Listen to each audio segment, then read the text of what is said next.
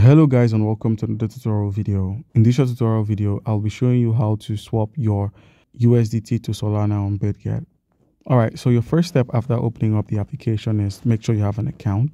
With your account, click on the add funds option and go ahead to click on deposit crypto and add your USDT. Uh, BitGet offers different networks in which you can deposit your USDT for trading.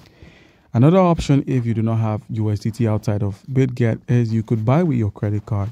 You could make use of the P2P trading, which simply involves buying from someone in your local area using your credit card or a bank transfer for the P2P trading. And you could also use your credit or debit card to get yourself some USDT and you could go through a bank transfer to buy some Solana. All right, so once you've gotten yourself some USDT on your BitGet, simply head to the wallet section at the bottom right, which is the assets.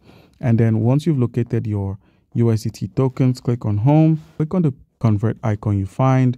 And now we're going to be converting our so USDT tokens into some Solana tokens. So where we have a BitGet token, simply use the search to search for Sol, click on Solana, and enter the amount of Solana tokens you wish to convert into. So let's go ahead and select 5 USDT, click on get quotes, and you've reached the daily conversion limit. All right, so uh, all you need to do is simply enter an amount, click on get quotes, and then you'll be able to convert your USDT into Solana tokens. All right, guys, that's how it's done. Comment down below if you have a question and you'll be given an answer.